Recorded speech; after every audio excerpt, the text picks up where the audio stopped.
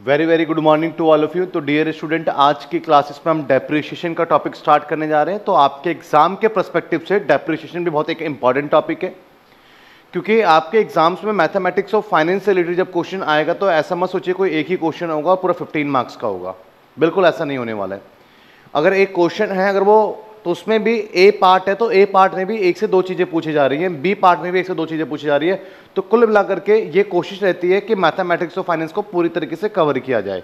इसलिए हर एक टॉपिक इंपॉर्टेंट है मैथमेटिक्स और फाइनेंस में। तो बच्चे, सबसे पहले आइए डेप्रिशिएशन का मतलब समझते हैं कि डेप्रिशिएशन क्या होता है, फिर धीरे धीरे से क्वेश्चंस लेंगे और इसी क्वेश्चंस को हम अटेम्प्ट करेंगे। देखिए टॉपिक का नाम है डेप्रिशिएशन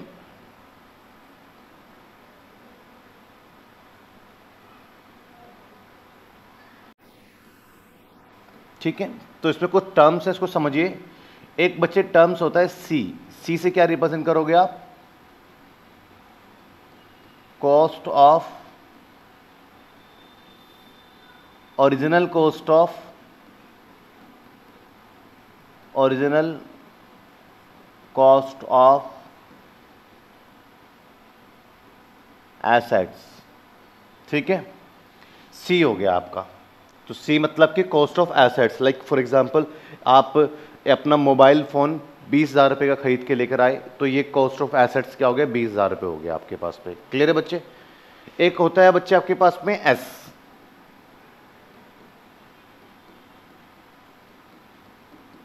ये होता है एस्टिमेटेड स्क्रैप वैल्यू ठीक है बच्चे?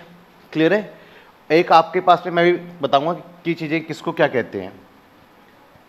लाइक like, आप एक फ़ोन लेकर आए थे यहाँ से समझते हैं।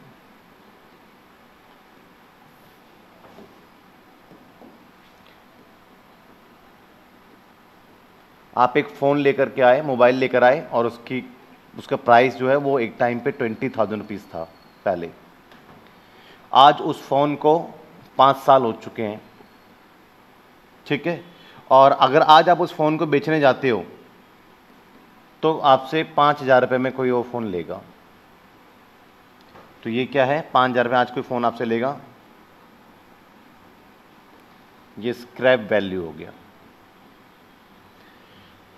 टोटल डेप्रिशिएशन कितना लग गया? टोटल डेप्रिशिएशन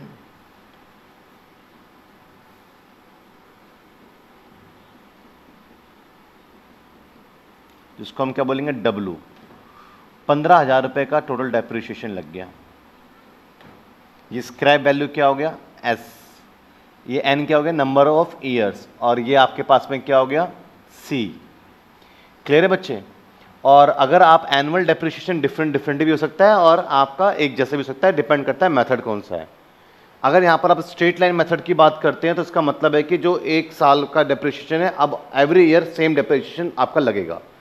इसको हम स्ट्रेट लाइन मेथड कहते हैं। मैं वन बाय वन करके सभी चीज़ों को डिस्कस करूँगा। तो बच्चे, यहाँ पर देखेंगे स्ट्रेट लाइन मेथड की अगर मैं बात करूँगा तो डब्लू डब्लू में टोटल डेप्रिशिएशन है ना? तो स्ट्रेट लाइन मैं यहाँ पर एनुअल डेप्रिशिएशन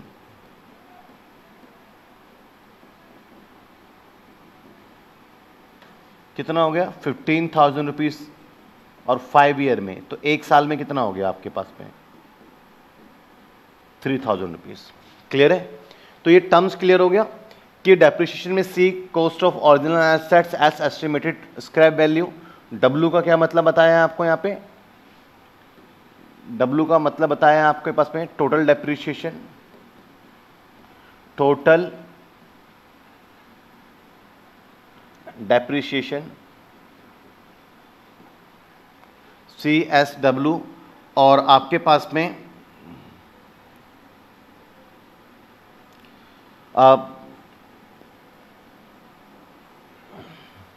एक आपके पास में हो गया बच्चे।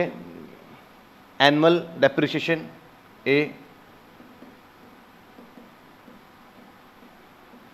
annual depreciation N हो गया। नंबर ऑफ़ ईयर्स ये सारे टर्म्स समझ में आ गए आपके पास पे? और अगर मैं एक स्ट्रेट लाइन मेथड की बात करता हूँ।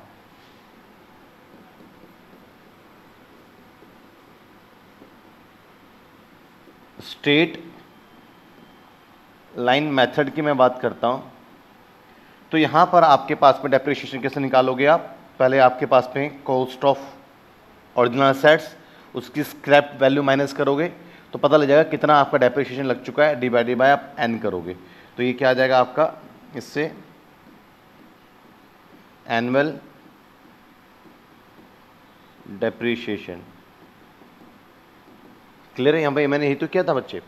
बीस हज़ार रुपये ओरिजिनल कॉस्ट ऑफ़ एसेट्स था स्क्रैप वैल्यू पंद्रह, पाँच हज़ार रुपये बची थी, पाँच हज़ार बिक जाएगा तो कितना वैल्यू रिड्यूस हो गया? तो जो वैल्यू रिड्यूस हो जाता है, पुराने होने की वजह से, टूट फूट की वजह से, उसी को हम क्या बोलते हैं? डेप्रिशिएशन बोलते हैं। और ये मेरे पास में बेसिकली फिफ्टीन थाउज़ेंड कैसे निकाला मैंने? सी माइनस एस करके निकाला। और उसके बाद मैंने फाइव नंबर ऑफ़ ईयर से डिवाइड करा तो एवरी ईयर कितना डेप्रिशिएशन लग रहा है? थ्री थाउज़ेंड लग रहा है। तो फ़र्स्ट ऑफ़ ऑल आप यहाँ पर फ़र्स्ट ऑफ़ ऑल आप यहाँ पर आपको ये चीज़ें क्लियर हो गई हैं। डेप्रिशिएशन से टर्म्स किसको क्या लिखोगे आप? सी कब लिखोगे और आप एस कब लिखोगे? अब जैसे एक सिंपल क्वेश्चन है आप machine costing fifty thousand rupees तो यहाँ पर आप देखेंगे, C इक्वल्स टू क्या है आपका? C इक्वल्स टू बच्चे, आपका है fifty thousand has a useful life of a four year n equals to क्या है बच्चे? Four years the estimated scrap value s equals to क्या है बच्चे? Ten thousand Using the straight line method, find the annual depreciation, the construction schedule for the depreciation. Clear है बच्चे? तो आपके पास में क्या निकालना है आपको? एनुअल स्ट्रेट लाइन मेथड क्या करना है? Use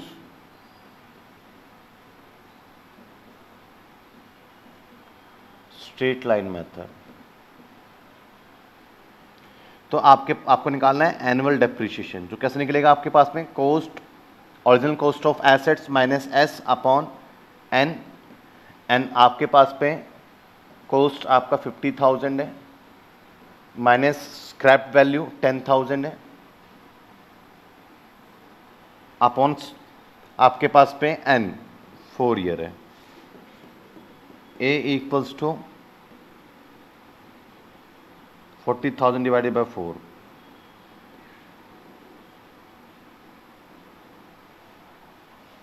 ten thousand rupees clear है?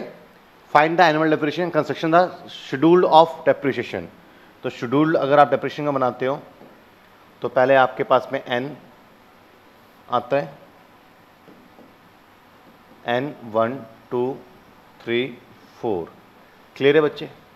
एनुअल डेप्रिशिएशन कितना जा रहा है आपका annual depreciation ten thousand ten thousand क्योंकि स्ट्रेट लाइन मेथड में क्या होता है? एवरी ईयर आपका डेप्रिशिएशन सेम रहेगा। ये समझ में आया बच्चे आपको? कोई डाउट है तो पूछेंगे। टेन थाउज़ेंड वेरी गुड अभी तो बहुत बेसिक क्वेश्चन से स्टार्ट करा है बच्चे। पहले आपको पता तो रहे कि डेप्रे होता क्या है? पेपर में ये सब थोड़ी आगे एनिमल डेप्रेशन निकालो। हाँ आपको थोड़ा सा C S N in terms आप फेमिलियर हो जाओ।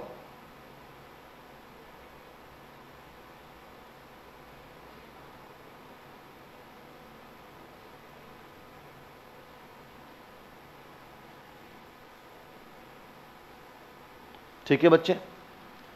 अब आपके पास में बुक वैल्यू क्या रहेगा?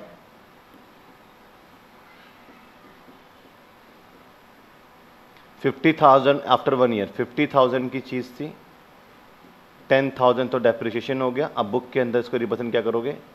Forty thousand similar fifty thousand था रिपीट हो गई। टेन थाउज़ेंड आप सॉरी अब फोर्टी थाउज़ेंड रुपीज़ इसकी वैल्यू थी। टेन थाउज़ेंड आपने फिर से इसमें माइनस कर दिया।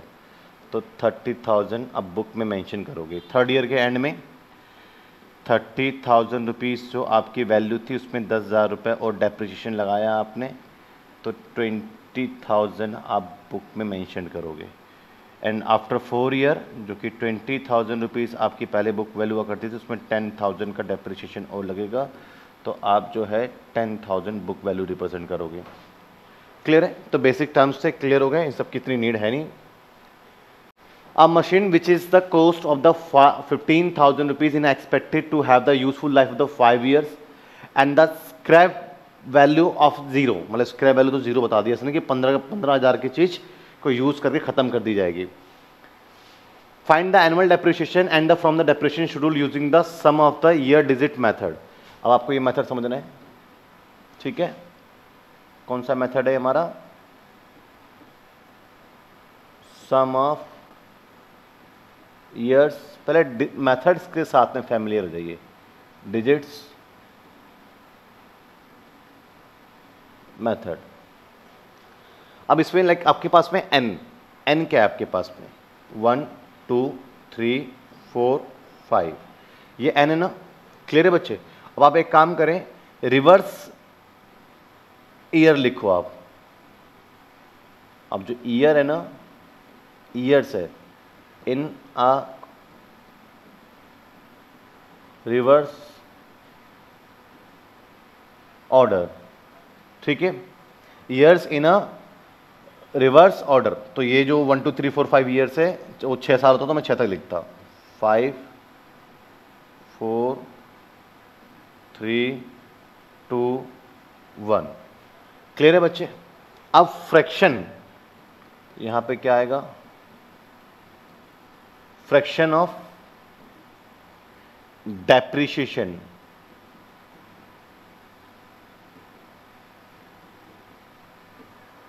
fraction of depreciation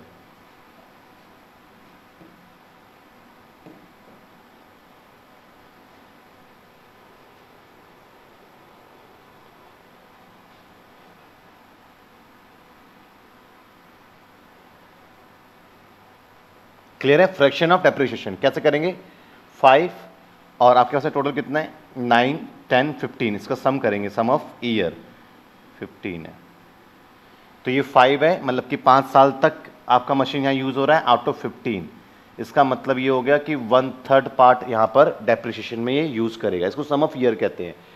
तो आपके पास पे एनुअल डेप्रिशिएशन निकालोगे अगर आप. एनुअल डेप्रीशिएशन अगर आप कैलकुलेट करते हैं तो आपके पास फिफ्टीन थाउज़ेंड रुपीज़ आपका जो है कोस्ट है, और उसका आपका वन थर्ड पहले डेप्रीशिएशन लग जाएगा आपका मतलब five thousand depreciation first year में लगेगा आपका। ठीक है? क्लियर है? एक मशीन है, उसको जो है आपने पाँच साल यूज़ करना है तो पाँच साल यूज़ करना है आउट ऑफ़ फिफ्टीन ईयर्स तो टोटल लाइफ का जो स्टार्टिंग का टाइम होगा ईयर वन होगा तो उस समय तो मशीन पूरे पाँच साल यूज़ होगी ना? तो आउट ऑफ़ फिफ्टीन पूरा पाँच साल ये यूज़ होगी, अगले टाइम पे जो बुक वैल्यू होगी उसका चार साल यूज़ होगी, फिर तीन साल, दो साल, एक साल तो कुल मिला करके पंद्रह में से पाँच तो आपका स्टार्टिंग वाले में ही ले रहा है तो मतलब वन थर्ड ले रहा है ना आपका ये? तो वन थर्ड ले रहा है तो डेप्रिशिएशन का one third machine cost value का वन थर्ड पार्ट डेप्रिशिएट हो गया। Similar four by fifteen clear है? और सॉल्व करेंगे आप। Four by fifteen into fifteen thousand तो सॉल्व करेंगे फोर थाउज़ेंड रुपीज़ हो गया। Same three by four by fifteen same three by fifteen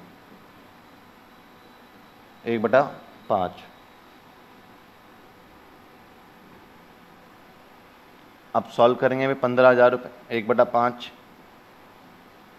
into fifteen thousand तो थ्री थाउज़ेंड यहाँ डेप्रिशिएशन लगेगा। क्लियर है बच्चे? और सिमिलर यहाँ पे आपके पास में आ गया टू अपॉन फिफ्टीन तो टू बाय फिफ्टीन अब दो साल यूज़ होगा फिफ्टीन में से। तो पंद्रह हज़ार का ले लो इसमें से आप टू थाउज़ेंड ठीक है? अब वन अपॉन फिफ्टीन तो one upon fifteen into fifteen thousand तो सॉल्व करेंगे तो वन थाउज़ेंड रुपीज़ क्या है आपका? डेप्रिशिएशन लग गया। क्लियर है? तो ये आपके पास में क्या है? Sum of the year digits method